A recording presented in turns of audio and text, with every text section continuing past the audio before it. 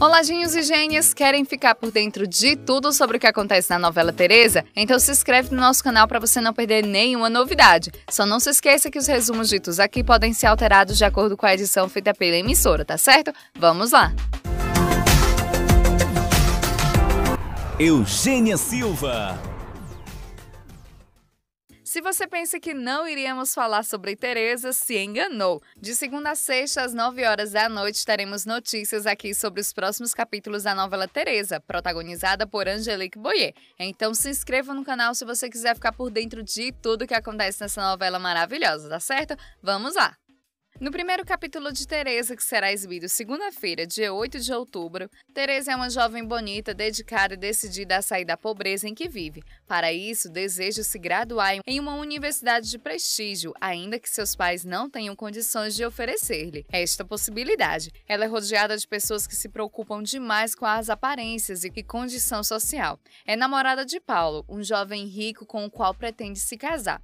Teresa oculta sua verdadeira condição social. Ela diz que seus pais moram na Europa, quando na verdade ambos trabalham respectivamente como costureira e mecânico e vivem em uma humilde vila. Aurora é uma amiga incondicional para Teresa e, como tal, após ela ser desmascarada, a consola. Teresa, furiosa, diz à amiga que dinheiro nunca foi problema para Aurora, por isso ela não opina sobre o que é ter que contar moedas para comprar algo. Teresa ainda afirma que enquanto ela anda com roupas de segunda mão, a amiga tem roupas de grife e anda com carro e motorista particular. Teresa diz a Aurora que ainda que doa o que Paulo fez, ela precisa e irá seguir com seus planos, pois sua meta não pode ser perdida de vista. De agora em diante, irá investir no professor Arthur. Teresa diz a Regina que não quer ir a uma universidade pública, mas em uma universidade paga, na qual as pessoas sejam de um nível superior. Contente diz a mãe que seu professor lhe ofereceu os estudos que ele mesmo irá pagar,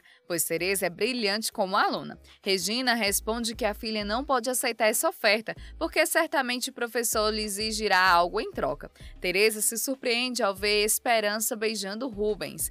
Ao perceber que foi vista, Esperança pede a Teresa que não conte para seus pais. Teresa responde que não irá dizer nada. Paulo dá um anel a Teresa e diz que não é de compromisso, mas sim um símbolo da nova relação que deseja ter com ela. Paulo propõe que ele e Teresa sejam amantes, que em troca ele a dará uma boa quantia em dinheiro. Teresa se ofende e Paulo tenta beijá-la. Nesse momento aparece Mariano, que furioso agride Paulo.